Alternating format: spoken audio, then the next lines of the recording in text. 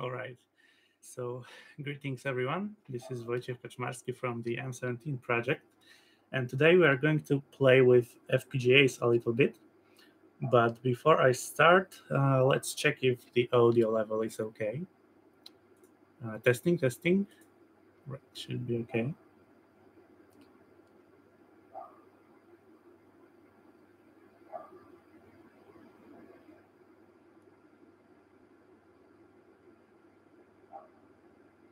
All right, so I've got the feedback that the audio is okay. Uh, but the image is distorted. Uh, I have no idea what's going on. Maybe it's my not so good Wi-Fi connection today.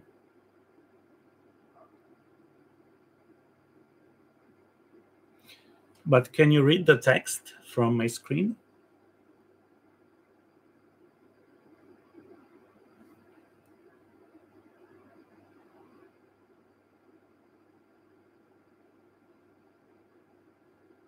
Oh yeah, that's because my screen is uh, five to four ratio. it's not 16 to 9. I'm old school and my screen is 5 to 4. But anyway, uh, it should be fine. Right, so let's get going. Uh, let's start with uh, let's start with the basics. Uh, let let me tell you what the setup is today. So I've got an FPGA board uh, that's a Lattice LIFCL40. And I've got an STM32 board, STM32F767 Disco board. It's a Nucleo board from ST. And that's all connected to uh, an Atmel board with RF uh, sorry, AT86 RF215. That's an IQ transceiver. And that's all connected connected together to a signal analyzer that we've got right here. And uh, I also have a signal generator, a two channel one. The first channel is the 18 megahertz clock for the FPGA, and the other channel is used for the modulation in. So uh, the modulation output from that generator is just connected connected to the ADC of the STM32. And the STM the STM32 is used to sample the baseband and pass the data over SPI to the FPGA.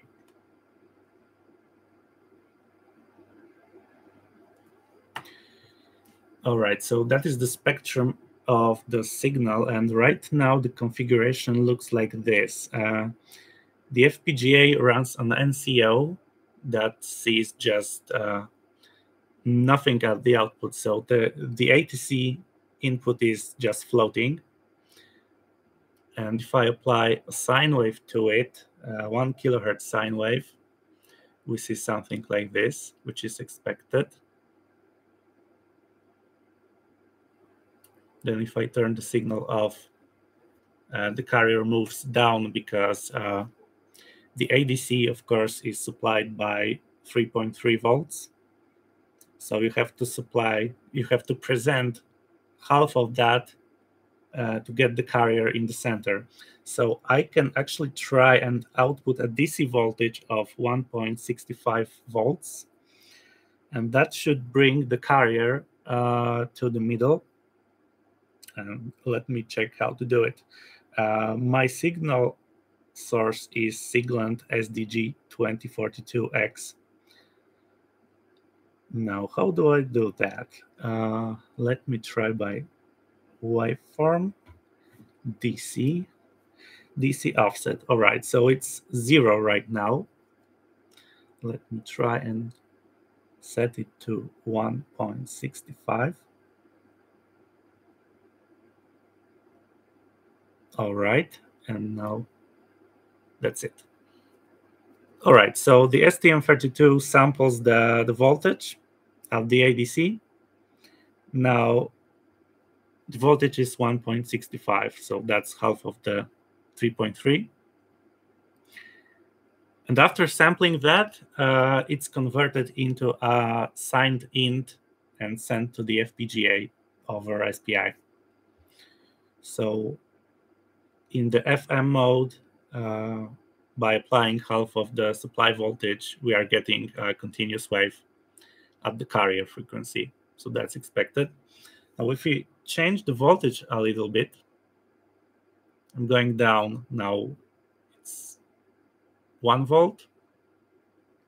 And if we go up, that's 2.45, we go up. And the spurs on the spectrum are caused by the um, by the fixed point arithmetic that's going on inside the FPGA, I believe. But that's nothing to worry about right now. Let's go back to 1.65. All right, so that's the carrier wave. Uh, now let's try and do this. Uh, our aim is to, uh, for today, of course, not in general, uh, our aim is to transmit PSK using the, set, the setup that I have. And probably next time I'm going to use my camera because it's a good idea to see what's going on.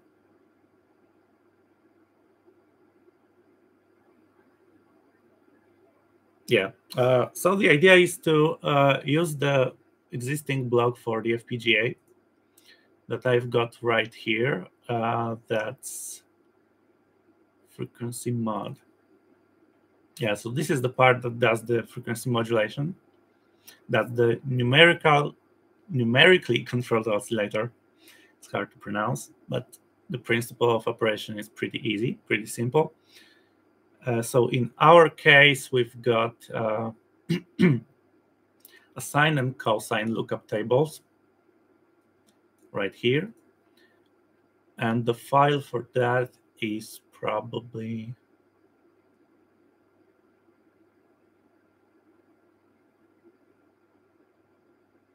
sincos.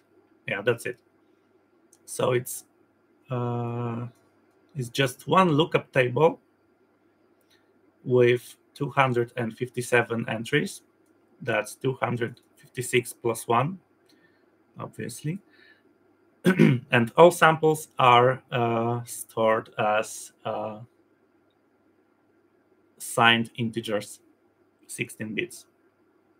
So this is just a quarter of the sine wave. And of course, if you want to obtain cosine wave, we have to do some simple arithmetic uh, because sine wave starts at zero and the cosine starts at one. So we have to do some adding and subtraction to get the actual value, the actual value for the uh, for the output. So normally, uh, if you want to use this block, you just pass the theta, so the theta or theta, I'm not sure how to pronounce that word, actually. Uh, so that's the uh, the phase information and then after passing the phase, you get sine and cosine outputs. So if you pass zero, you get zero at the sine output and one at the cosine output. And if I remember correctly, in our case, unity is equal to, if I remember correctly, in our case, unity is equal to this value. So this is just one bit before uh, one bit before uh,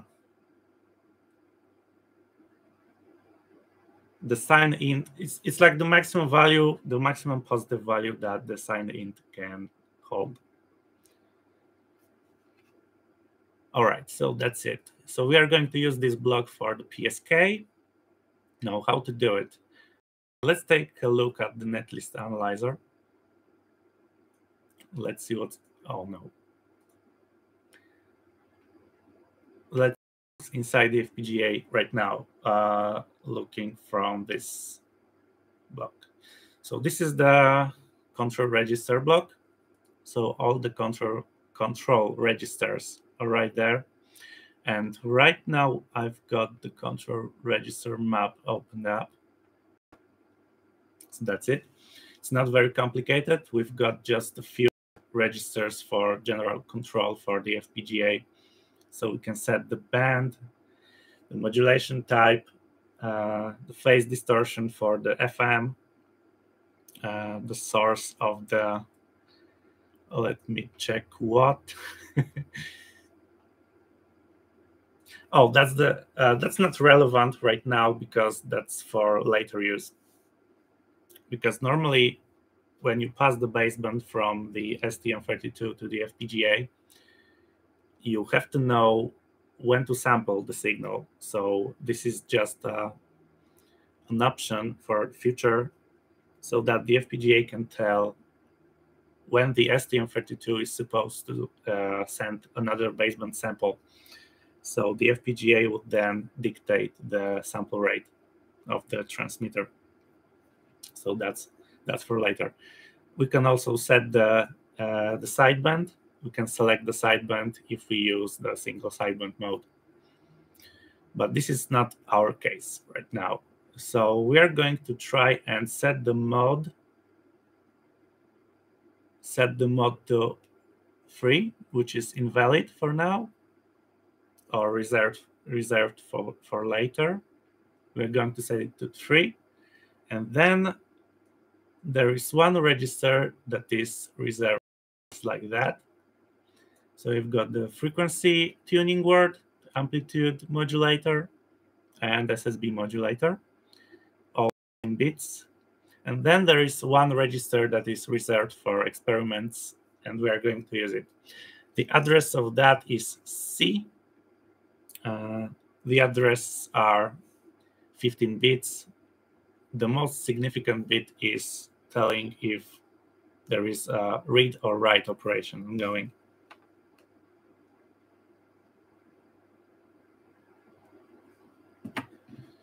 So let's do this. Uh, let's take a look at the netlist analyzer. So those are the control registers and uh, we set those over SPI. That's the SPI stuff. It's uh, master out and slave in. So the other side is the output, which is the master in slave out. So after receiving receiving the uh, the command to read or write to a register, we're going to store a value for the baseband in register C, I believe.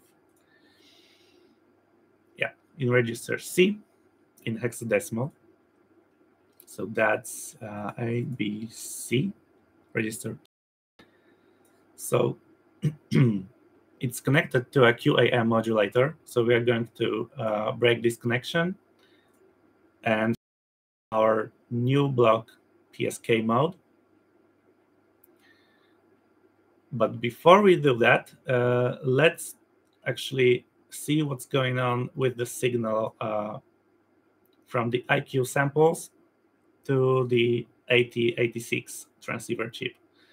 So the samples are uh, sourced with no that's the decimation block.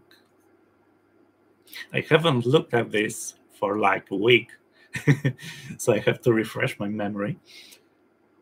All right all right so this is the demodulator yeah those blocks right here i'm not sure if you can see my mouse pointer but uh, those block those blocks in center uh, starting with this one. That's the amplitude modulator. Let's take a look how it looks like inside. Let's take a peek inside, show schematic. Yeah, it's very simple, actually. Uh, when we do amplitude amplitude modulation, we actually change the in phase value. The quadrature just stays at zero because we don't care about it. So uh,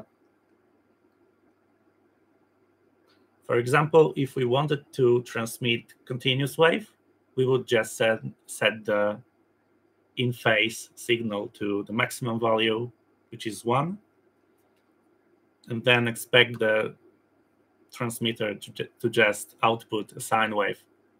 continuous wave, CW.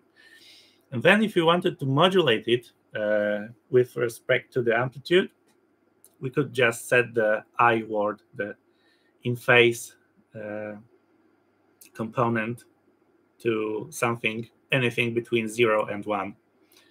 So for half of the amplitude, we would set it to one half. And if we wanted to uh, totally attenuate the signal, we would just set zero. So this is the very simple blog for amplitude modulation. No magic here, no rocket science. Now let's go one step back and, mm, and take a look at the frequency modulator, which is a little bit more sophisticated. So the frequency modulator actually uses uh, sine and cosine lookup tables, which are part of the NCO mentioned before. That's the sine and cosine lookup table.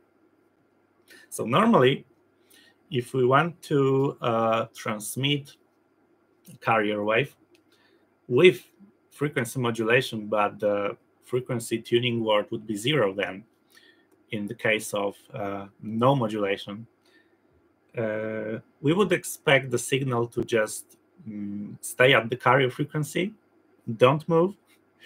So uh, if the tuning word is zero, uh, we present that tuning word to a frequency, uh, the phase accumulator, sorry.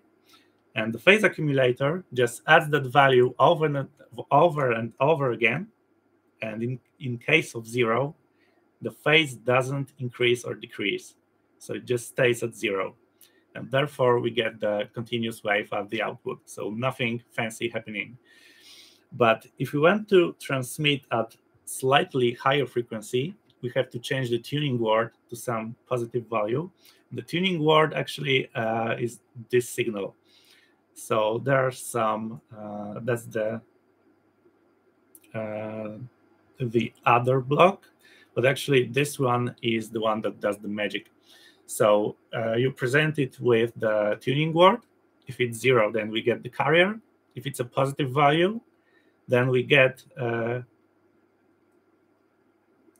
an increasing value for the phase accumulator, and the output is probably here. Yeah.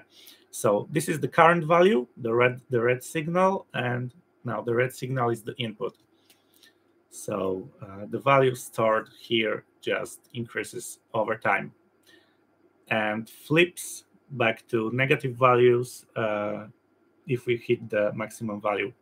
So the phase accumulator we use is probably, yeah, it's 21 bits long. And the lookup table is, as you probably already forgot, is 10 bits. Uh, we've got 257 samples, but that's just quarter of the wave. Therefore, we've got 124 entries. And that's 10 bits. All right, so this is the frequency modulator block. We've got the modulator in, the phase accumulator, the NCO as the lookup table. table. And then we got, uh, this is just a latch for the output, I and Q so this ensures that uh, the output of this block gets uh, uh, both of those values are in sync with, with each other. So it's synced with the master clock that is provided right here. That's the global clock. In our case, I believe it's 18 megahertz. I might be wrong, but let me check.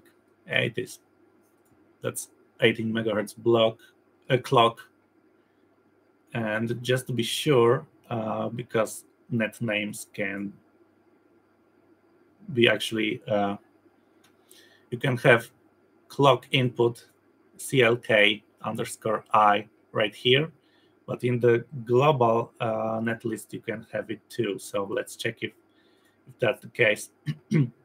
So our block was here frequency mod is CLK underscore I and it's clocked by.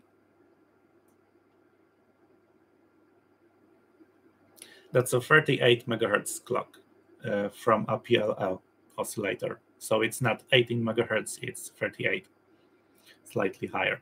All right, anyway, uh, so that's the frequency modulator block.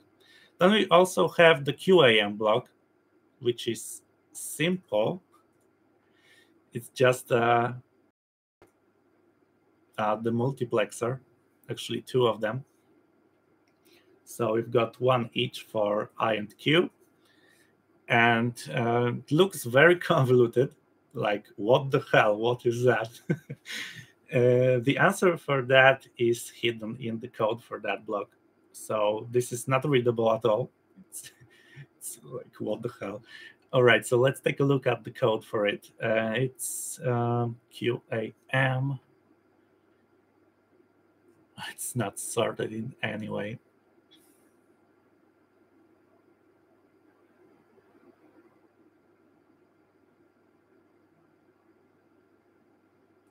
That's it.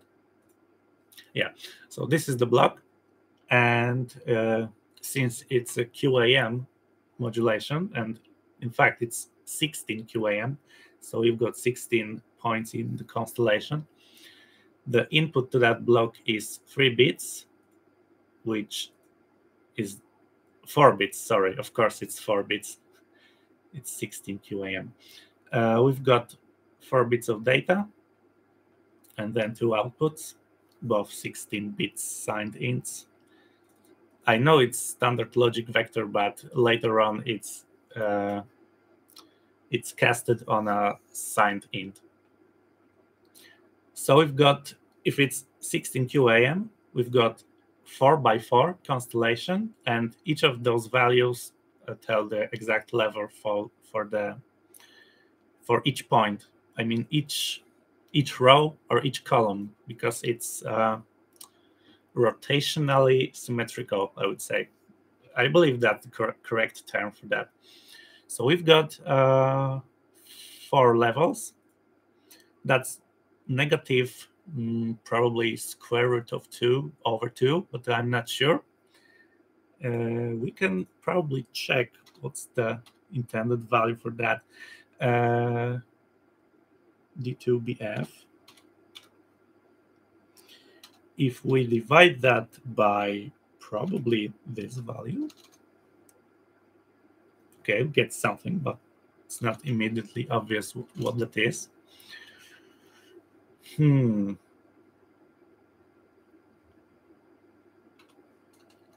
And if we try this, it doesn't make sense to me. Okay, I don't remember. anyway, uh, those values should be minus 3, minus 1, plus 1, and plus 3. Of course, scaled by uh, some arbitrary factor because uh, the I and Q streams both uh, expect the values to be confined within a range of from minus 1 to plus 1. So minus 1 is the maximum value that the absolute value of the of the value uh, shouldn't exceed one. I can tell you that. So uh, if in our in our case, if that's uh, if the unity if is zero x four zero zero zero or seven and uh, all f's, this value. Uh, I believe this. Oh, I see the problem.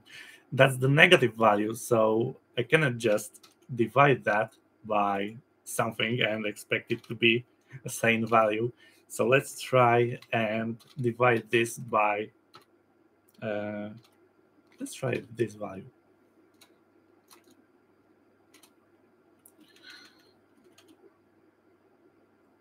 Okay, doesn't ring a bell. Nope.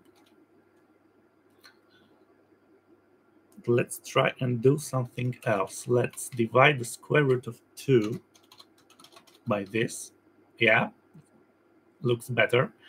So probably this value or this value. Yeah, that's one third of a square root of 2.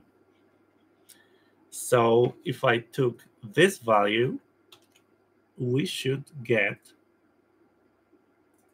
exactly no half of the square root. Oh.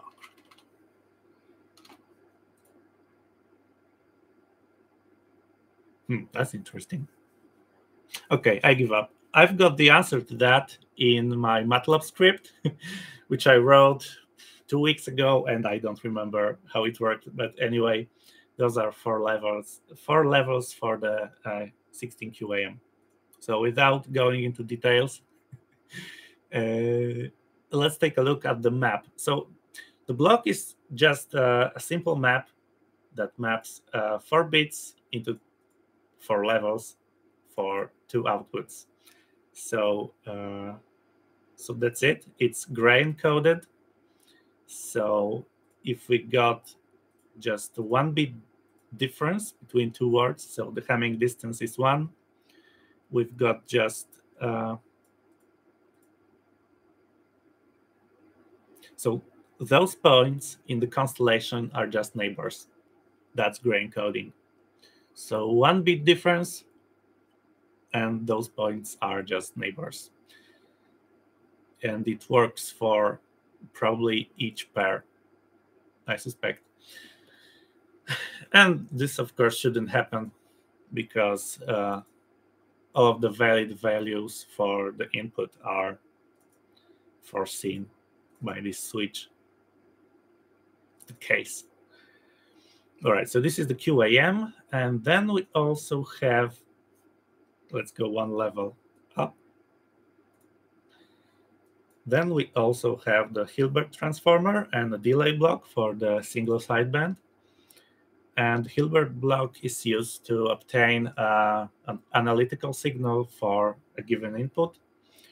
And normally, uh, the Hilbert block is a, is a bandpass filter that rejects uh, low frequency component and high frequency component. Well, it's a bandpass filter, right? And the delay block is set to delay the signal uh, the right amount of time so that the output from the Hilbert block and the delay block are aligned in, uh, in phase. So actually, uh, you've got the input right here, which is uh, which goes from here. That's the decimation block. Before that block, uh, we've got the signal input.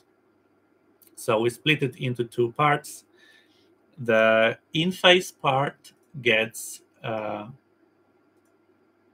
Hilbert transformed, and uh, the other branch just gets delayed, and both branches then go to the uh, demultiplexer. This demultiplexer block is used to select the modulation uh, within the FPGA. So you can set the register to the right value that is here. That is right here, the modulation selector. So you've got uh, three bits, 14, 13, and 12. Yeah, three bits to select the modulation. So by selecting uh, zero, which is the default value, you get the frequency modulator uh, through this block.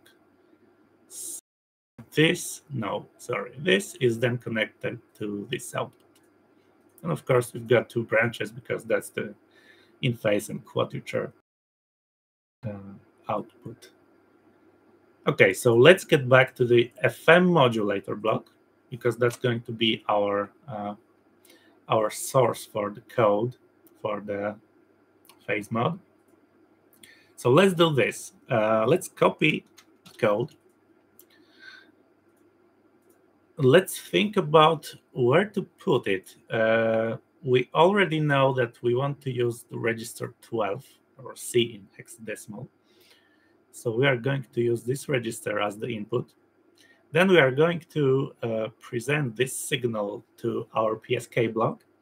And that signal is going to tell, uh, all right, this signal is obviously 16 bits, but the lookup table is 10 bits. So we're going to do this. We're going to take 10 most significant bits of that register and present it to the lookup table. And then we can take the I and Q outputs from that block. sorry, I've got the private message.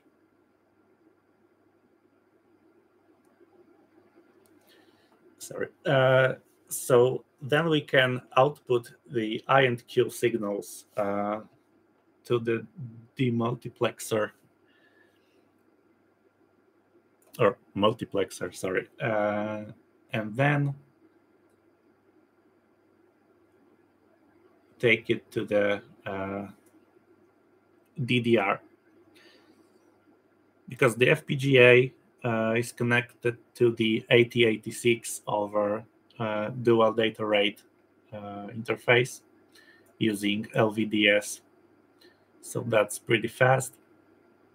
All right, so uh, those three blocks that you see here is the digital predistortion that we use for the SSB mode and any that any modulation that is not a constant envelope.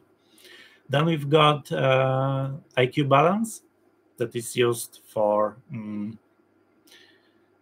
for reducing the uh, the mirror frequency.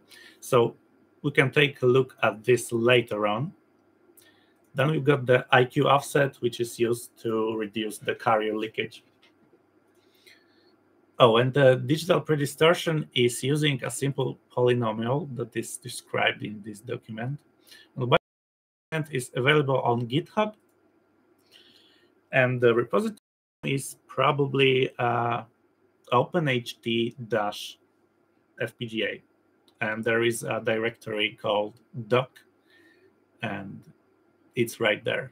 It's in pdf format and doc format or odt rather anyway uh, that's the polynomial for the digital predistortion and i believe we are not going to cover this right now because it's out of the scope and psk is actually a constant envelope so we don't need it so we can talk about it later. Uh, all right, so we've got the code copied, and now uh, let's do this. Let's start with creating a new file, VHDL. Let's call it uh,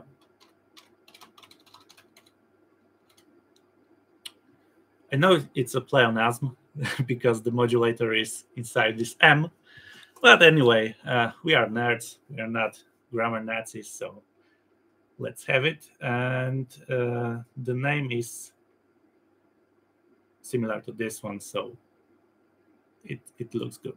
All right, so let's start by by uh, changing the the name of the month. Okay, so this is going to be a phase modulator. April. All right. Uh, let's change all that is immediately obvious. And for the frequency modulator, we actually had to, uh, for the phase accumulator, we had to uh, add the control word, the tuning word, to the phase accumulator over and over again. And we had to feed a clock to that block to know where when to do it, at which rate to do it. So for the phase modulation, we don't have to do it anymore. So you just get rid of that. Uh, so the phase modulator doesn't need a reset signal, I believe. Yeah, that's right. Uh, we don't need a clock. We need the modulator in, which is 16 bits. Uh, we don't need no ether. And INQ out and that's probably it. Yeah, so I'm going to go ahead and just remove stuff that is not needed. And then phase modulator, PM modulator, okay. Uh, the sincos is needed, the dither other is not needed. That's for the FM only. Row I, row Q, that's probably not needed. Um, the phase is probably also not needed but I'm going to comment it out for now. Uh, slot is, of course, needed. Uh, we're going to do this. The phase input is going to be the mod i, uh, that's the theta. But let's look at the sincos block actually if uh, we don't need this. The input is standard logic vector, 10 bits. All right, so obviously uh, mod i is 16 bits, so we need to do this. Now, uh, 10 bits would mean, suspect, uh, let's take a look again, uh, 10 bits for the theta. Yep,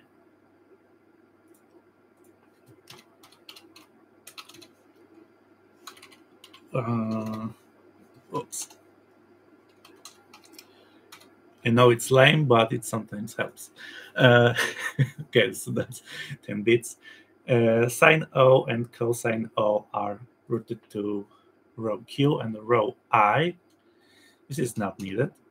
And the process is not needed because we don't have any clocks right here. So basically, that's just uh, a single slot that takes the modulator in. So for the for the phase modulator, we actually could just use the sincos block, but uh, that would make the the netlist a little bit hard to read and hard to understand. So let's have the phase modulator block, even if it's just the sincos table discussed. Discussed, sorry, not, not discussed. All right, so this is not needed. Let's try and save this file. And by saving the file, uh, the Radiant actually checks the the syntax for us and row queue is not declared. Of course, it's not declared because I have just removed it. Uh, so let's do this. Let's route this signal like that.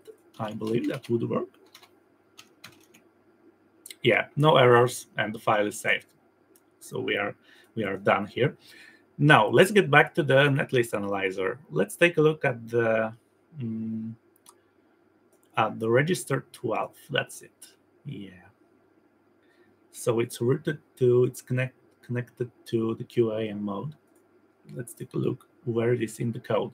So this is the main, the, the top level file, which tells what's connected with with what and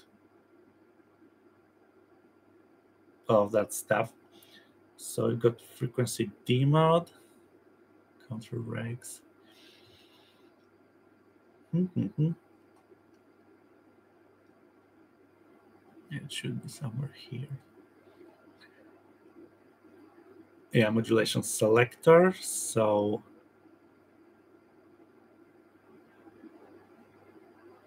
QAM. Yeah. So probably we can use those. Let's try and do this. Let's comment it out. Uh, so QAM mode.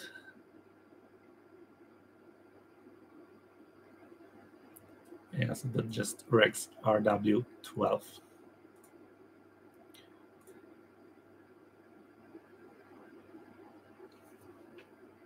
Hmm, is that correct? Not symbol. Yeah, that's probably the name of the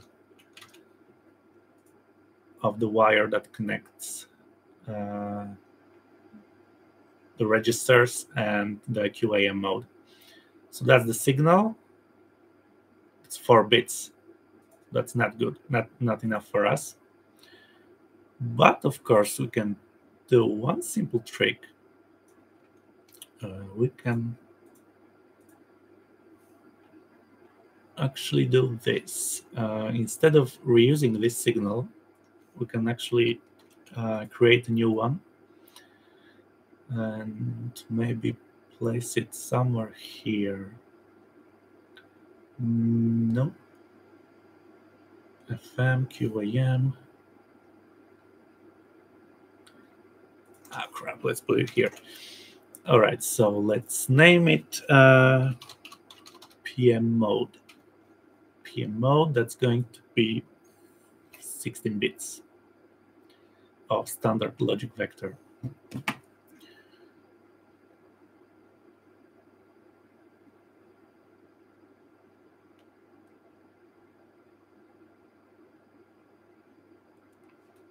Sorry, I'm back.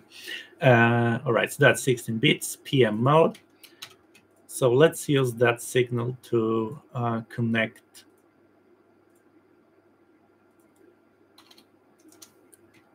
connect the new block with the uh, register 12. The register is already 16 bits, so we don't need uh, vector slicing. And if I save that, no errors. Yoo-hoo, all right.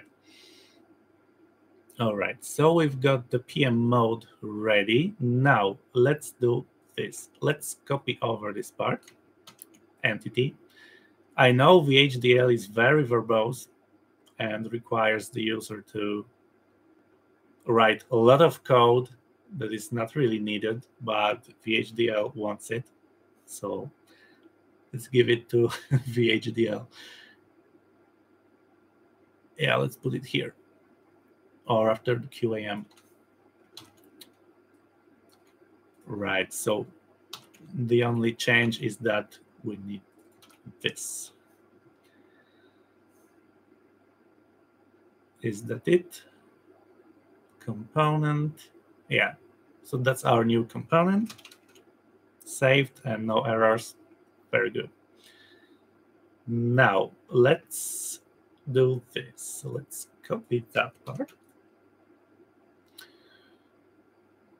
So we are doing uh, signal routing right now. So we have created the block that turned out to be very easy because we had the NCO ready and we just took the lookup table from the NCO block. And then uh, since the block is ready, we just have to connect it. So uh, a modulator SSB, uh, Hilbert, QAM. All right, so let's go here. Let's do this.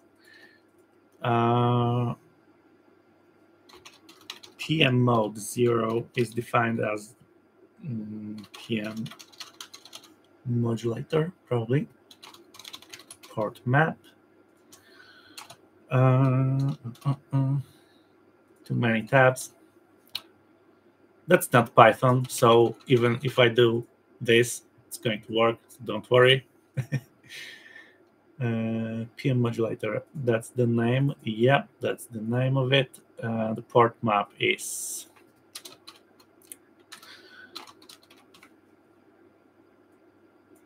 as I said, it's very verbose language, so we have to put a lot of stuff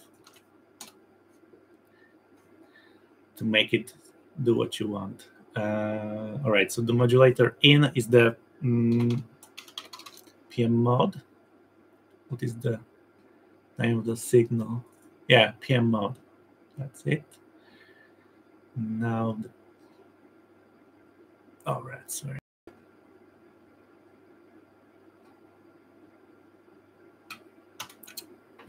Don't have time for that. PM mode, okay, so that's IO and QO.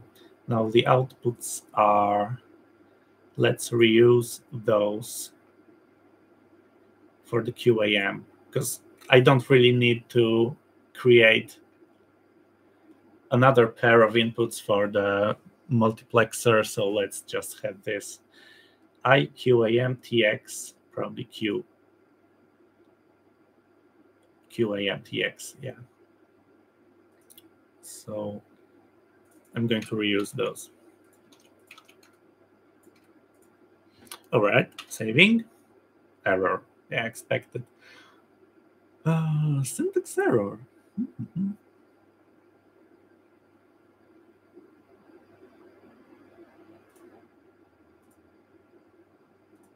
But of course, yeah, fixed.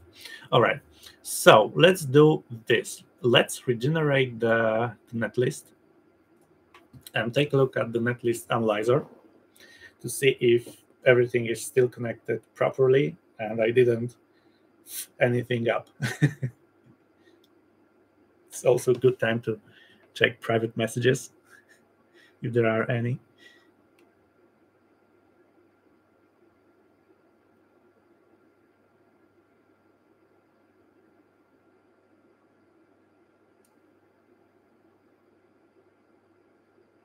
Yeah, it, it takes a minute to synthesize.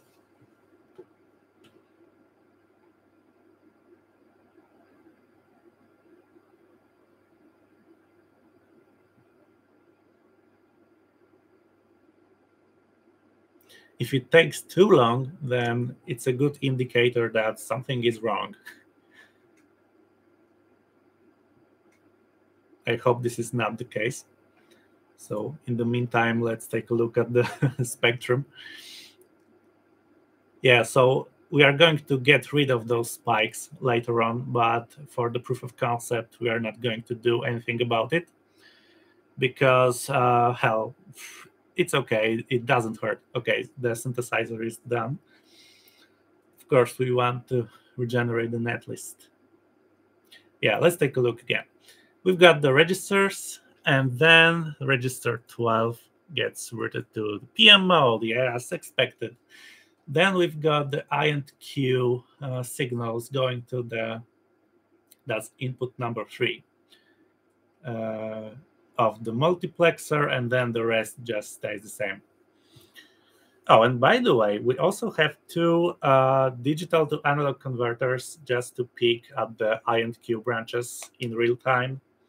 So I've got the scope connected to those DACs, so we can take a look at that later and see the constellation as it exists in the FPGA. So not at the receiver side, but rather at the transmit side that's very interesting. That's very good for debugging because uh, you can see what's going on, especially if you are doing things like the Hilbert transformer and you want I and Q branches to be perfectly aligned in phase. Because if they are not, you're getting a lot of crap in the spectrum. So we don't want that. Uh, okay. Okay, so that's done. Uh, we've got the PM ready now, uh, we should be able to write to that register, number 12, or C in the hexadecimal, and expect the FPGA or the AT86 chip to transmit a valid PM signal. Now, uh, let's try and do this. Uh, let's build the rest of the the rest of the code, uh, the rest of the config for the FPGA. So that's going to take probably two minutes. And in the meantime, uh, let's take a look at the code that runs on the STM32. So sorry for using uh, Cube, but it's very simple to use. And for the proof of concept, it's actually very, uh, allows for very fast development. So I'm using it. Uh, okay, so this is where we set the modulation type. So right now it's zero. And if we look at the table here, uh, it's it's here. So we've got zero in the mode, and the mode zero is FM.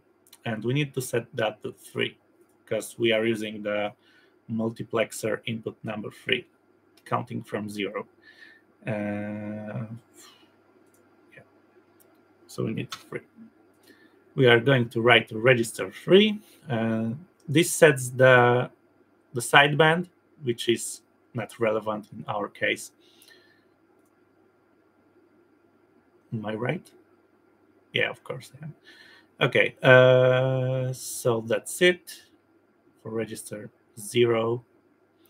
Now we start the timer at 24 kilohertz. We are going to write samples at that rate. A lot of comment. Then, okay, the process is done. We are going to run the programmer in just a second. But before we do that, uh, we've got the ADC sampling uh, floating input. So that's a source of entropy, just something random. And we are writing to register 9, which is not correct. We want to write to register C. Then, uh, since we are taking the the most significant part of the of the word we probably want to. Do we want that or not? Because right now uh, the ADC runs in 12 bits mode. So we can probably move that four bits left to get uh, to get the right signal. But I'm thinking if we actually want to do that, let's try something else. Yeah, that, that's going to be a cool test. All right, so if the code works and if we set the phase to zero, we should get a continuous wave, probably, if I'm not mistaken. Uh, so let's do this. Let's inject the code into the FPGA. And uh, while the programming is ongoing, there is a carrier wave because the last sample is is held by the IQ transceiver inside the chip. So there is nothing going on over the DDR LVDS. So the, sample is being retained, I suppose. Now, the FPGA is programmed. It's reset, and now I should be able to reprogram the STM32 to present the FPGA with just a zero sample. Yeah.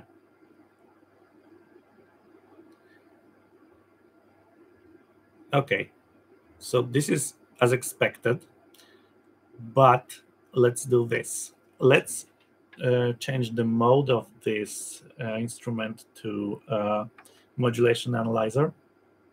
And of course, the attenuation is a little bit no actually uh, trace B amplitude and the ref level yeah much better. Okay. So this is our signal. Of course it's just a continuous wave so nothing fancy going on.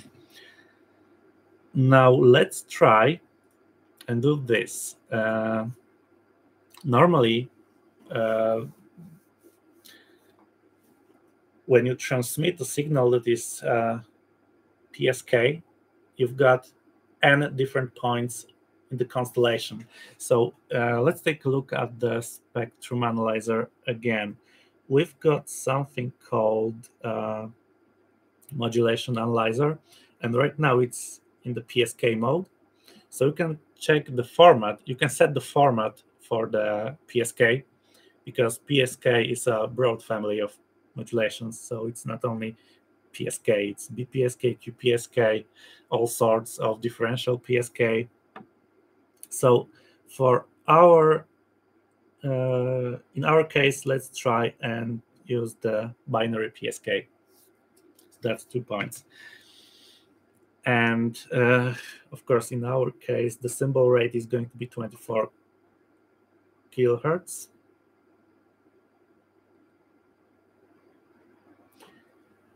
yeah, let's do this. Uh, let's do this. Uh, right now, we send zero words to the FPGA. So the phase should be zero, and it is. But we can do and actually try sending different samples for different phases. So uh, let's do, let's try Hmm, how to do it? The sample rate is 24K, and we want to send a stream of um, random pseudo-random symbols to the FPGA instead of sending just constant zero. So maybe do let's do this. Uh, we can check the value of the uh, from the ADC and if the ADC value and 1, so that's the least significant bit, so that should give us some randomness. Uh, if it's if it's 1, then do something else. Do something else. And in our case, that's going to be this. Mm. Ah, perfection. Yeah. Okay, so we pull for the value from the ADC. Uh, this arithmetic is not needed, actually. We just need the row ADC value. So uh, if the least significant bit is set to 1, then we are going to set a positive uh, phase value. Let's try this one. This bit is, uh, this byte is the most significant according to this, because we send the first one first. And that's register C. Yeah. So we send this part first. So if we set it to 10, we are sure that the value is positive and else we want it to be negative, so we can probably do something like this. Let's actually calculate the, calculate the uh, correct value. So we want to subtract 10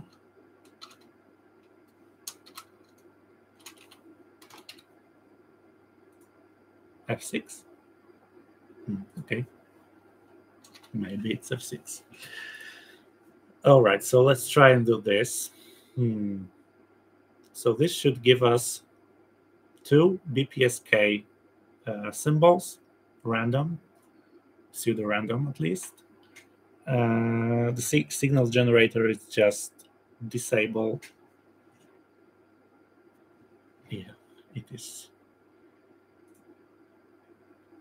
yeah, so we are getting something. It's not perfect. Uh, the symbol rate is 24K. Yeah, pretty much it. Uh, let's take a look at the... That's the INQ that I have mentioned before, mentioned before from the DACs, uh, both channels, X and Y. And that should show us actually two points connected and looks like it works, but the face is askew, and I'm not sure what's causing that.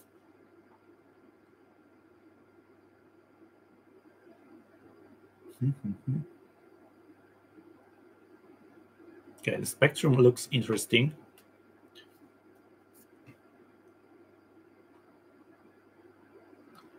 Let's take a look at the Maybe let's reset the STM32. Okay, still the same. Effect. All right, so the modulation in. Oh, no, it's this one. of course, it's this one. Uh, register 12. That's C, I'm pretty sure. Yeah, of course it is. Uh, uh -huh. PM mode that goes to input number three. Yeah, right there. Okay, let's take a look here again. Yeah, so the most significant, 10 most significant bits from the modulation input should go here. And of course, that value of mod i is the value that we set here.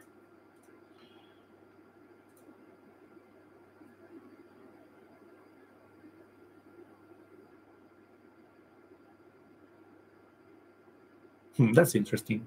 Let's actually try and uh, take a look at the signals that go to the DAC and check if the sample rate is right. So those are the SPI transactions for the DACs uh, for just one of them. Uh, no, actually, I lied to you. That's not. That's a transaction to the FPGA from the STM32. So it's 24 kilohertz as expected, and transfers are kilohertz as expected, and transfers are uh, 4 bytes. And we write value of 1000 in hex, 1000, 1000. Doesn't look very good because it should be random, at least pseudo-random, and it looks constant to me, just 1000. Let's try and uh, take a look here. Yeah, sometimes is F600, so sometimes it works. Let me try and uh, I have disconnected the signal source, but it didn't help a lot because the constellation looks pretty crap, I would say. Uh, there, there is a lot of phase distortion. Uh, I don't know what the reason is behind that. Hmm, let's think. The rate is good. Uh, the signal going over the SPI looks good. So the the phase word. So this works. The problem might be here. So we've got the theta input as the 10 most significant bits of the mod i. Let me check again if 15 minus 6 plus 9 uh, plus 1 is actually 10. Yes, it is 10, of course. Mm the sine output goes to QO and the cosine output goes to IO, which makes perfect sense. Uh,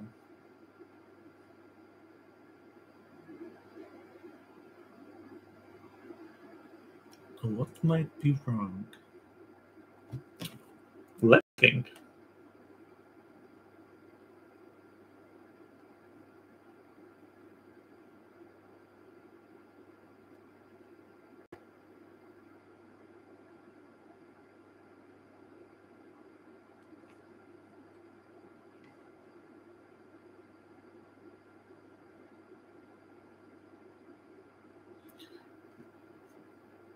So if the signal was perfect, we should get uh, just two distinctive points for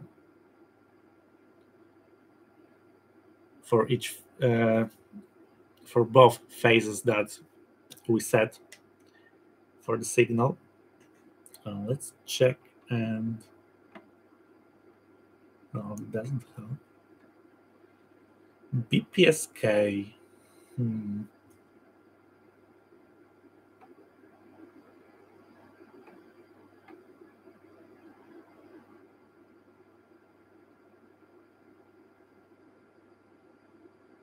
The DC peak is quite strange. Uh, actually, I have no idea what's going on. Uh, it looks pretty much okay because we've got two clouds of, uh, of points at the sides of the circle. But for some reason, uh, there is a strong DC component in the signal and uh, we are not actually getting uh, oh that's interesting. We don't need raised cosine filtering. Yeah so that's that probably helped a little but not by much yeah, we, we need no filtering. We are just using a staircase uh, signal as the modulating signal. So uh, maybe we can actually try and uh, visualize in trace A. Uh, that's the IQ. Let's try with constellation. there is some phase distortion going on.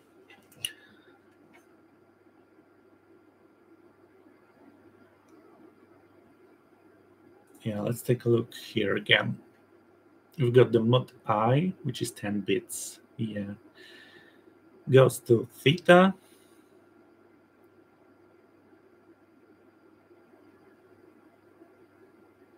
Yeah, it's not rocket science. It should work.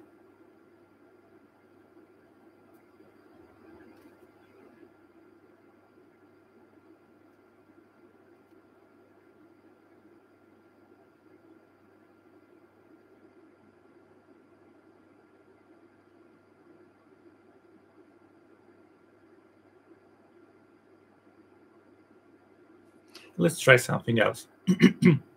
instead of the uh, instead of uh, BPSK, let's try let's try with something else. Let's try with uh,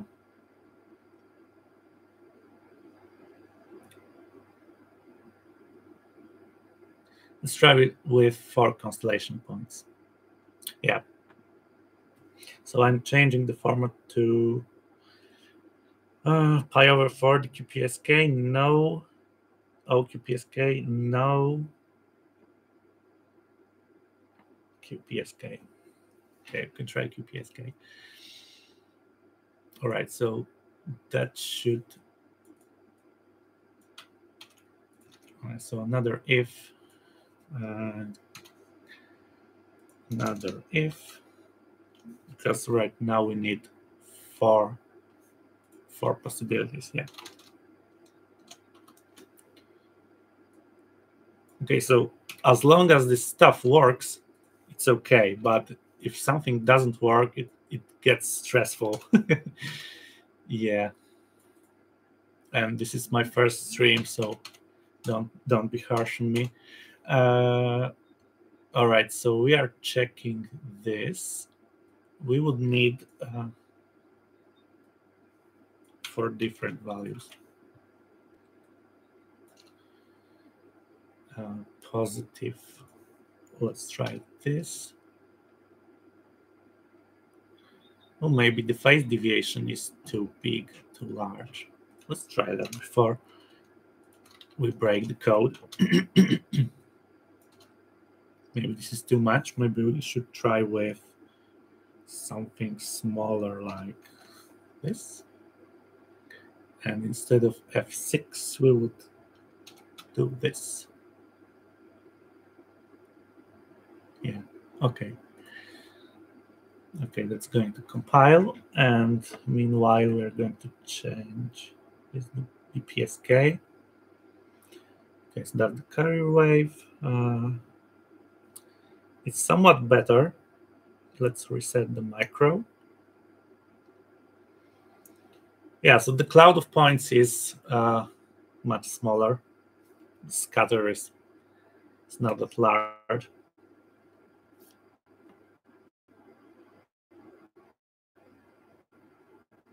what if we change the symbol rate to 12K? No, the symbol rate is 24K. I'm, I'm sure about that. Maybe we can reduce the, the rate a little bit.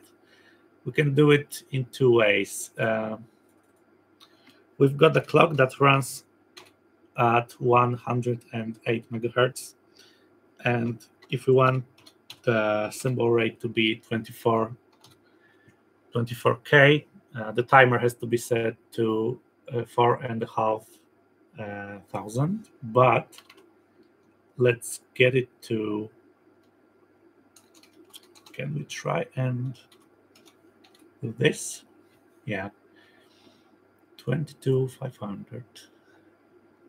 So instead of regenerating the code uh, in the cube, we're going to play with the value here writing the code uh, in the cube, we're going to play with the value here. That's timer number seven, this one. 4499, and we need 22499. All right, so the symbol stream should now come at uh, 4.8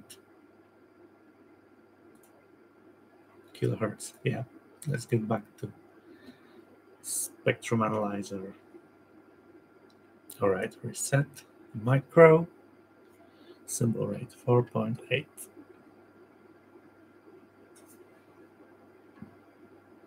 Mm.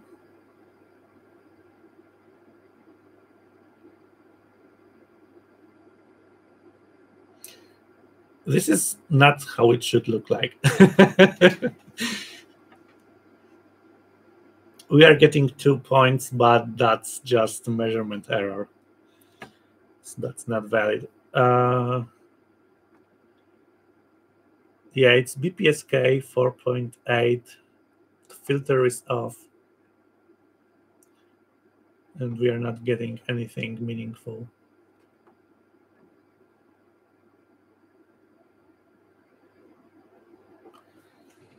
Uh, let's take a look at the code once again. Uh,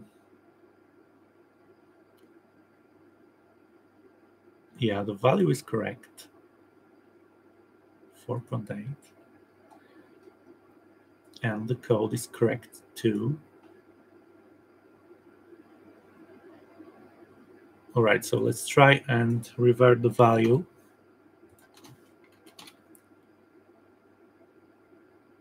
And reprogram the STM32.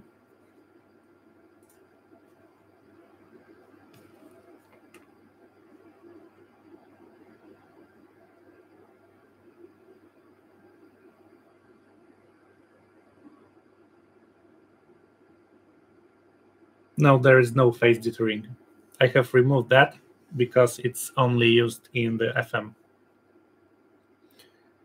All right, so the, the chip is reprogrammed and reset.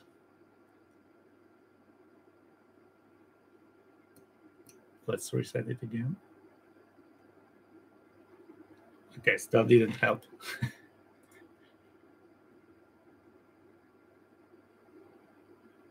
uh, let's take a look at the... Oh, that's very bad. Let's reset the STM32. Sorry, let's reset the FPGA.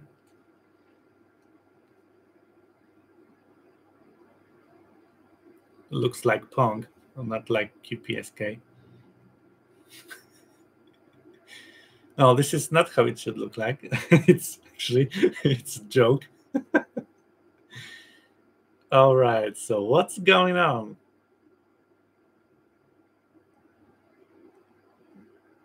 Actually I don't want to spend three hours on coding the, the phase modulator part in VHDL. But actually, uh, what we see here is just some crazy shit. That's advanced ham radio. Uh, let's try and do this. Uh, so this code should be okay. We present uh, the modulation input to it, which is 16 bits, and we take just the 10 most significant bits out of it. Then we present that to the sincos lookup table, and we get two values for the sine and cosine. So this is simple. This should work. But for some reason, it doesn't. Let's try and do this. Let's uh, let's comment out this and this. Mm. Let's remove the if part. Let's set it to some constant value like zero. And let's check if that value is actually being transferred to, uh, to the FPGA. Oh, it's AC coupled, which is not good. Let's try this. And the range of the DAC is 3.3 volts. Actually, it's 2.5. Sorry, it's 2.5 because uh, because it is. it's supplied by 3.3, but the output goes swings from 0 to 2.5. So we need some additional range. All right. Okay, so that's it. Now, mm,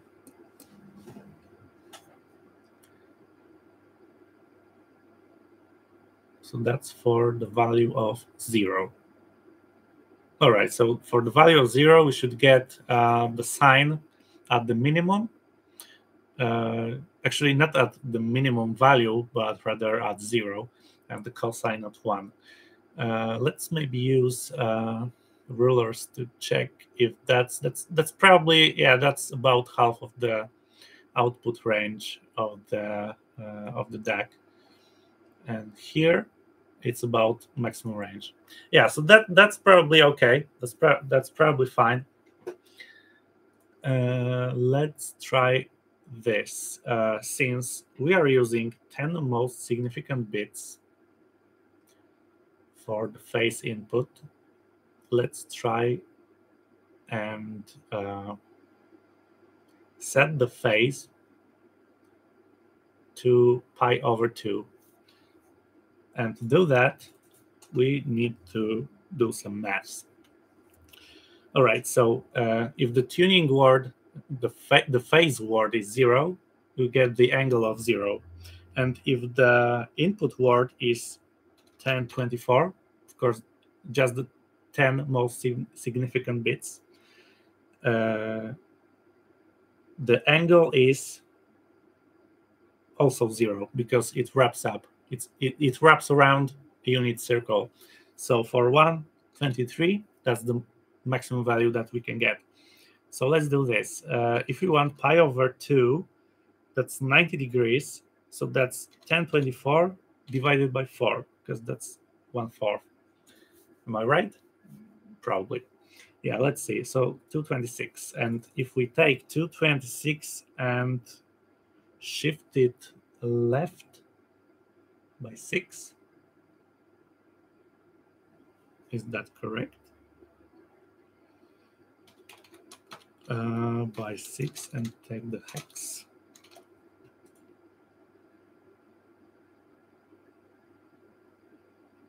Hmm, sounds good.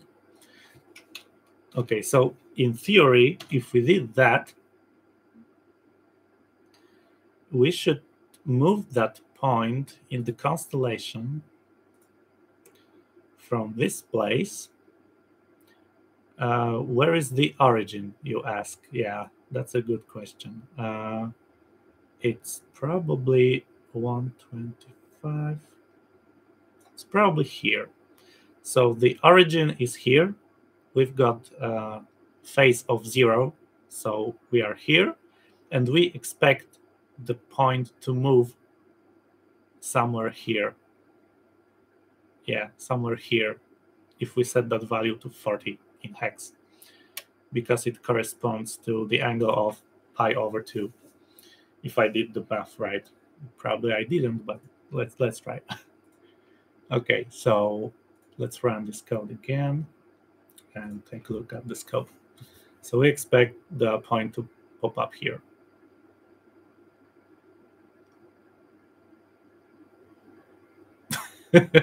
That's crazy. so uh, just for your information, that point should remain stationary. It shouldn't move. It shouldn't rotate. It should just stay at one place and don't move. Yes, some, something is very wrong here.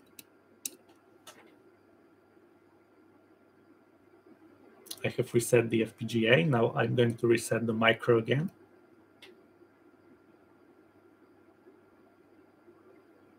Okay, let's try something else. Instead of setting the value, uh, let's actually try this, uh, setting by uh, the STM32. Let's try something else. Let's, instead of setting the PM mode value from the register, let's actually uh, give it an explicit value for that so instead of uh, reading from the register, let's try this. And to do this, we actually have to regenerate the code, which is going to take like three minutes. So go grab a coffee or whatever.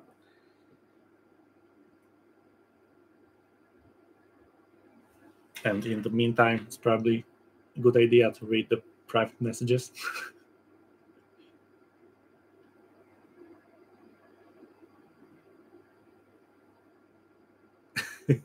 no, I don't have a cat.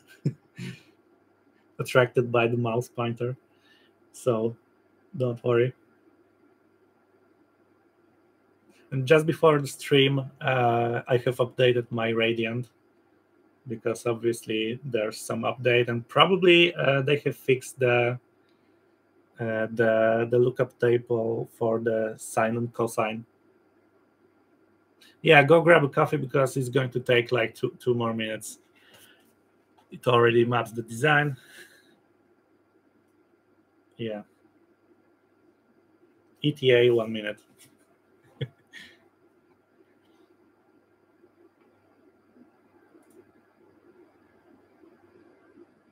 yeah, I've got a nice carrier wave continuous wave.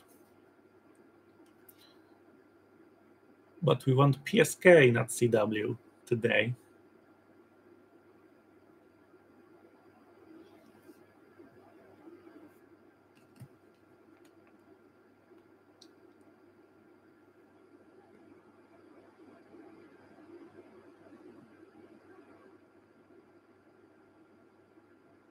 Okay, Steve. Enjoy the coffee and enjoy the stream.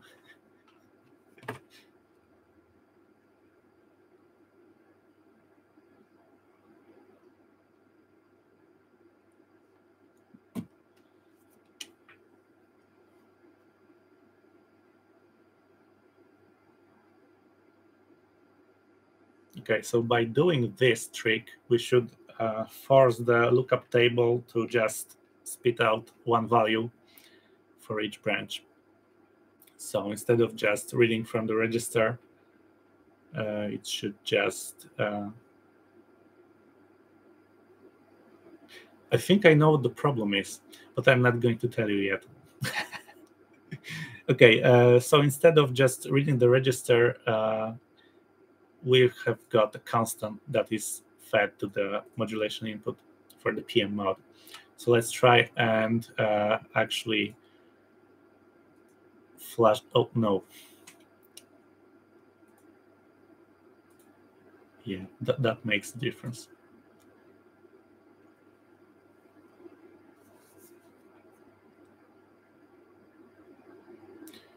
So when you generate a new binary file for the FPGA, you have to make sure that you click this before flashing it because it makes a big difference. And you can spend two days on debugging what's going on and that was in December when I started playing with FPGAs and VHDL, and I had no clue what's going on, and I didn't know about that magic button, and it caused me a lot of pain and a lot of time wasted.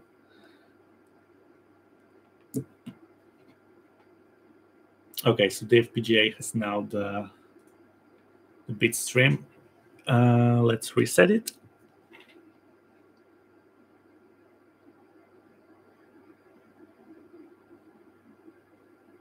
And let's take a look at this. All right, so it it jumps over. And this is not what should happen.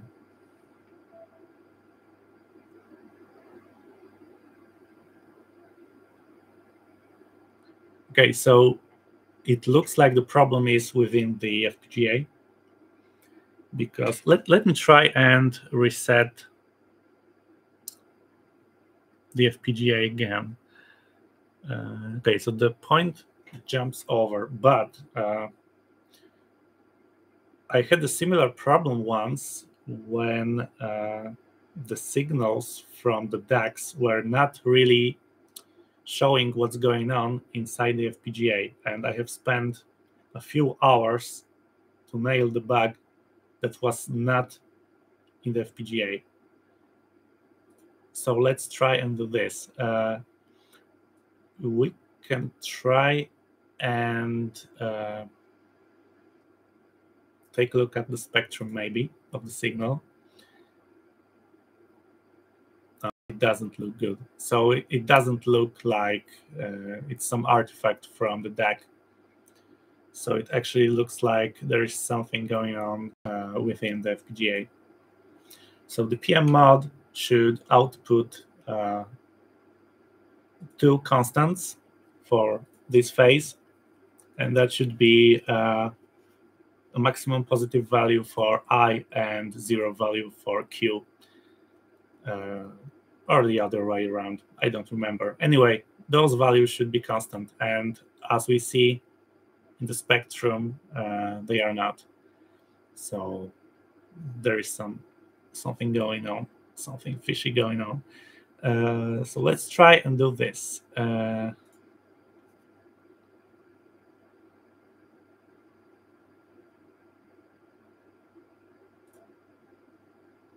let's take a look at this code.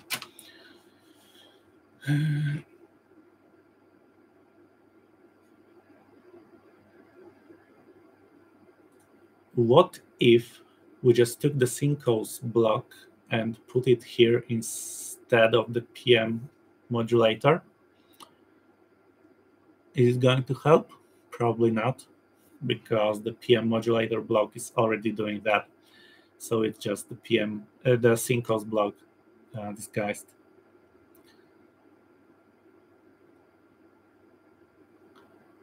Okay, so this is the problem. We've got the phase modulator uh, fed with uh, constant symbol, constant phase word, and for some reason it outputs mm, not constant values. And I don't know what the reason is. Why does that happen?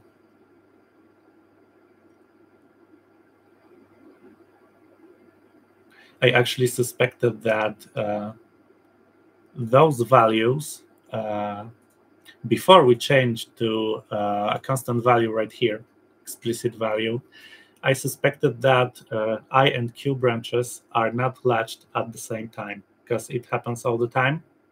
I mean, uh, this is not, nothing new. And the problems like this, uh, I had to solve them uh, previously. But in this case, when the phase tuning word is constant, those values should be constant too. So we can actually try and uh, go one step further and set those values to a constant value. So I and Q. And to do that, we would probably need to find where we use those values.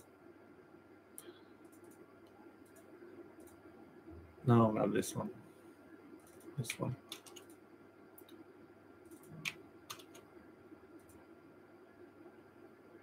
Uh, don't don't worry about this. This is it's a feature, not a bug. Uh,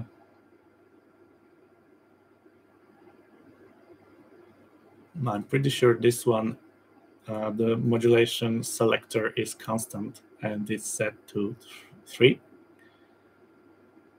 So it's not a problem.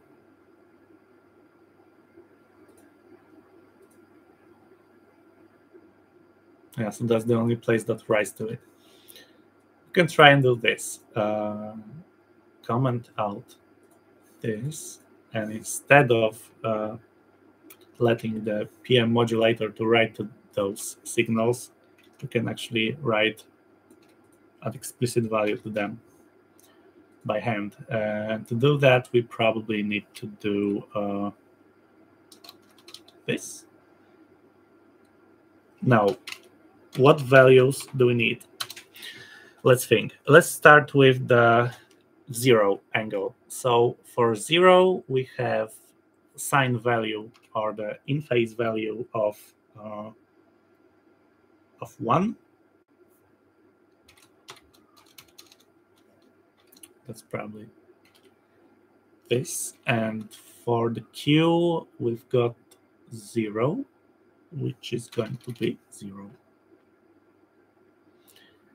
Okay, now if we try this, we should get a nice solid point at the right hand side, right here, without that crazy stuff that's going on.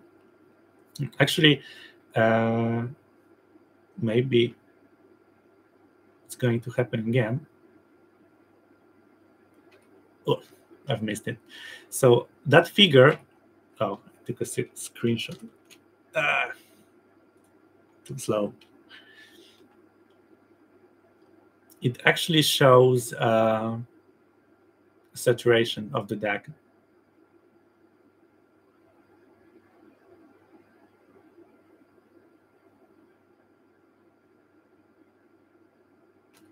No, ah, too slow.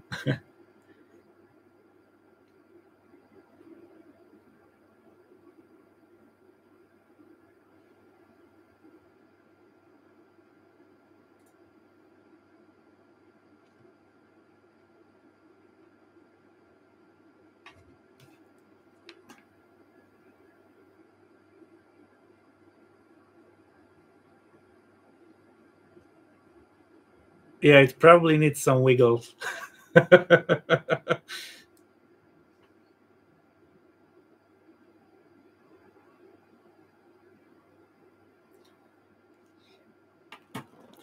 okay, so I'm giving this the last chance.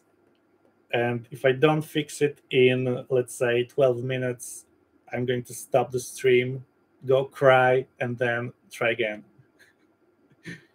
but alone this time, so you don't have to to watch all of these abominations.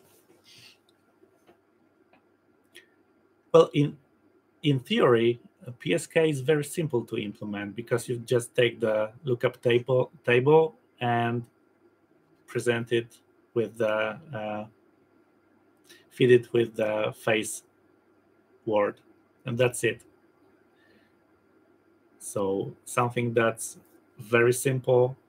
It's not so simple in VHDL and FPGAs in general. All right, so the code is in the FPGA. No, uh, it's not yet in the FPGA. Let's do this. All right.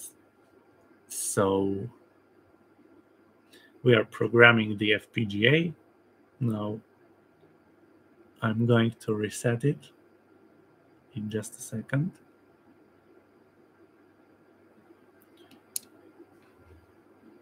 All right, the FPGA is reset. And now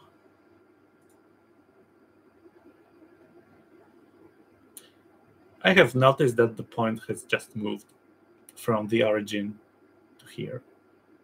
I'm not sure if that's an artifact. Right, so resetting the STM32 shouldn't do anything. I have reset it twice. All right, so it looks like this. Uh, we've got a, um, a constant set to both i and q, but for some reason, uh, the constellation, the point on the constellation moves jumps randomly. So it shouldn't happen. And if we look at the netlist, uh, we can see that, uh, where is it? Oh, the netlist looks totally different right now. Uh, this register is free, of course. We are not using it anymore. Uh, now we should have the. Where's the phase modulator block? It should go to. Oh, of course. It's not here because it's not used. Because we've got zero and zero here. Mm. Oh, that's Q3 and Q4. So it's not a pair. So the Q, the I3 is here and Q3 is here. So we've got almost full set of ones at the in phase and zero at the quadrature inputs. So this looks okay to me. Uh, yeah, and that's routed to I and Q. Then we've got the digital predistortion, balancer, and offset. And that goes to DACs. And of course, to the DDR block for transmission.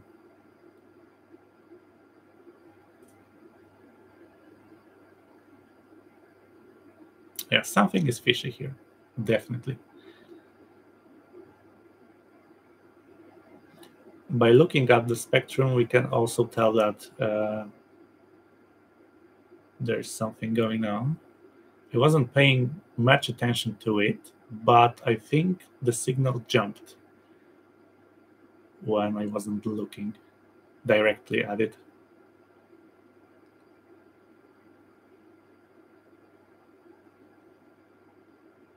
Well, the signal looks solid, and it should look solid because we are feeding just the constant I and Q.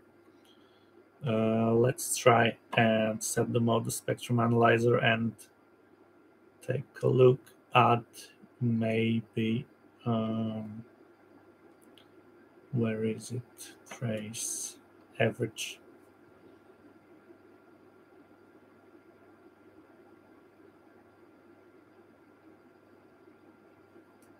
Looks clean to me. No bumps. Okay, so uh, for now, I'm clueless. I don't know what's going on. Uh, but it looks like something is going on within the FPGA itself. Uh, we can try and do one more thing uh, before I go crying. Uh, we can try and set this value to something else to check if this point is going to move. Uh, so let's try and set it to uh, the opposite values. So this value would go here. So that should make the point rotate uh, along the origin. So instead of here, it should pop up here. Okay, here, because the square, uh, the, the grid is not exactly square. Mm, all right, so one last time. Okay, so while this is synthesizing, uh, I can tell you this. Uh, this is the output from the DACs. So this jumps randomly, but for some reason, I'm not seeing any bumps here when the jumps occur. So that's interesting because that might show, uh, that might prove that uh, the problem with jumping uh, that point is caused by the DACs and not the FPGA itself. Because if it was actually caused by the FPGA, we would see bumps here, not at the carrier wave, but somewhere uh, at the sides. If there was a sudden uh, sudden movement of that point on the constellation.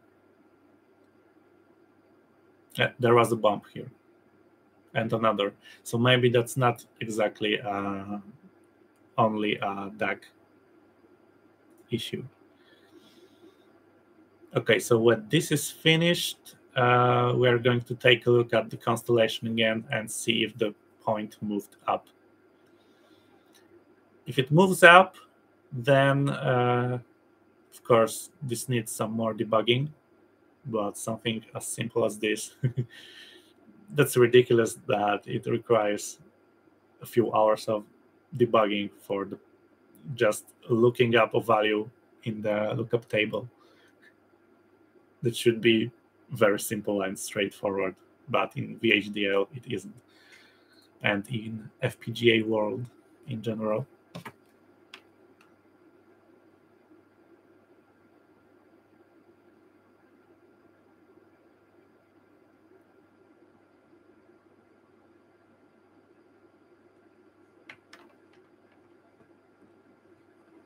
All right, almost done.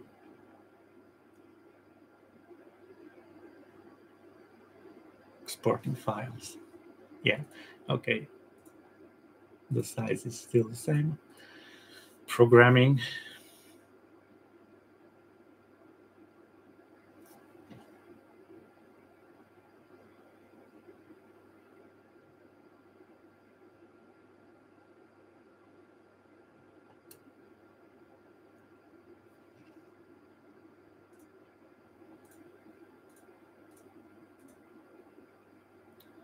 So it should be reversed right now um, here. Yeah, so this is zero now, and it was full of ones, except for the most significant bit. And this is now almost full of ones. So that's good. All right. So that's in the FPGA right now. I'm going to reset it and take a look here.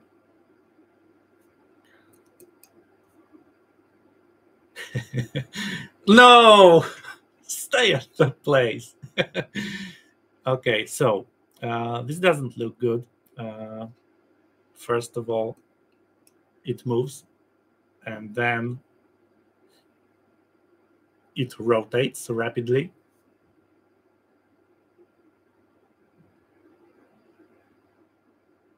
Yeah, so now it's it stays in one place but wrong place.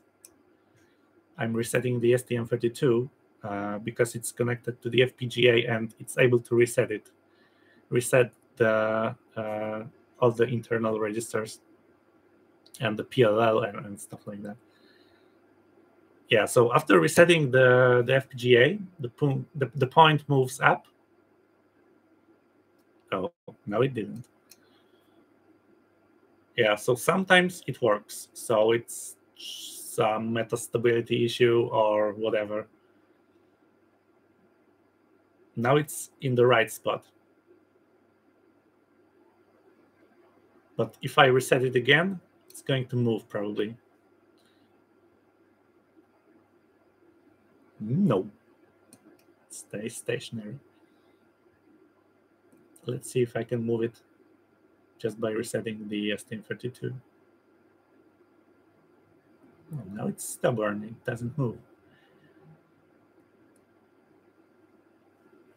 Oh, now it moved. Yeah.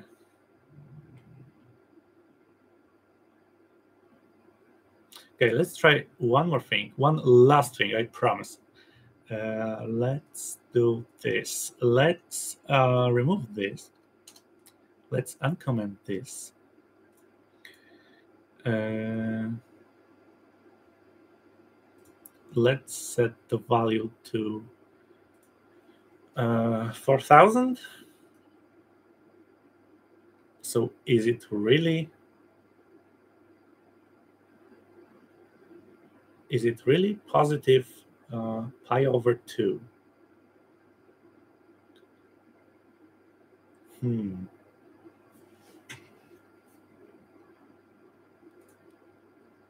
So that's a standard logic vector. And 10 most significant bits are passed to the theta. And theta is uh, expected to be a positive integer. Or not. Yeah, it is. Unsigned. Oh, theta. Yeah, so it's from 0 to 1023.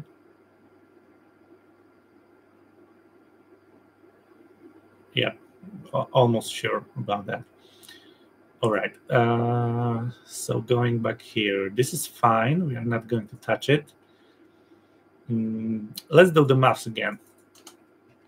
Uh, let's try this. Let's try this. Um, the left shift is by six bits, if I remember correctly, because we are using 10 most significant bits, and the whole tuning word is 16. Yeah, so that's six.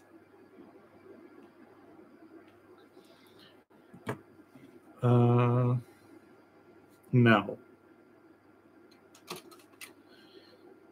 Uh, 1024 divided by 4. That's obvious. Yeah, 4,000. Unsigned. Looks good. Okay, so let's try again. But this time uh, we are not using explicit values for i and q, but letting the lookup table to look them up for us. It should do it. Definitely.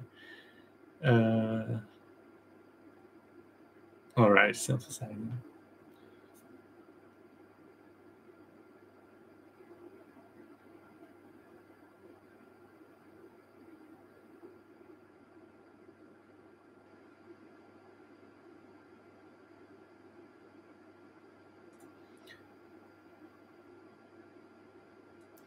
Yeah, so in our case, uh, DPD, the balancer, and the offset doesn't do anything. So the offset just adds zeros. Balancer just multiplies both branches by one, so doesn't do anything interesting. The DPD just uh, multiplies by one, also by unity. So that doesn't change the value of either I or Q. So it's like those three blocks don't exist. So it's like the I stream from here goes here. So it only adds some delay from the flip-flops, nothing else. But it's not that critical. It, it shouldn't affect the signal that like that.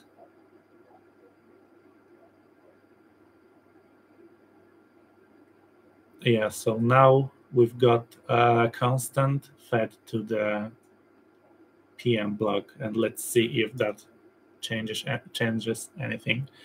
We also we already tried that before, but uh, let's try that again and reset the F FPGA a few times in a row to see what what's going on. Nice circle. That shouldn't be here.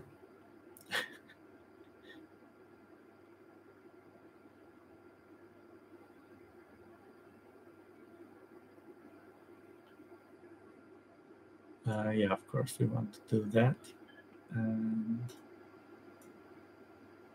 uh, the PM mode, yeah.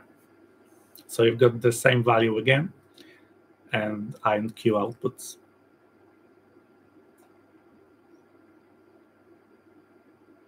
Mm -hmm. All right. So let's program the FPGA.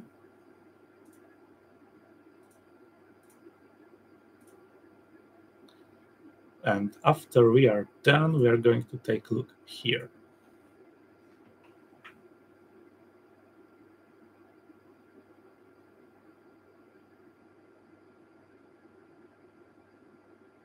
All right, this is done. Resetting the FPGA and resetting the STM32. All right, nothing happened. Resetting again the point was briefly there for a fraction of a second. Okay, so after fourth reset, I've managed to put the point where it should be. this is actually not real debugging, it's more like playing with the FPGA. Okay, so the it is possible to move the point where it should be, but it goes back and it shouldn't. So that's very wrong. Okay, so uh, now I'm going to stop the stream, go crying, and see you later, probably, maybe tomorrow. And I hope to fix this by, I don't know, by local evening is uh, 3.36 local time PM. All right, so the summary, uh, the PSK is of course doable within OpenHT uh, as an addition to, uh, oh, that's, the, that's a nice DAC saturation. Yeah, so uh, phase modulation is of course doable uh, in OpenHT as an addition to other modes like QAM, uh, FM, AM, and other modes that are composite like APSK. So all of that is doable. It just requires some a lot of time and a lot of effort, but we are going to deliver that and probably before uh, I hope to deliver it before uh, Friedrichshafen Expo in Germany this year in June. And the expo starts at 25th of June, I believe. I'm not exactly sure, uh, give or take two days. So uh, that's it from Wojciech for today. Uh, see you next time. Stay creative and see you next time, guys.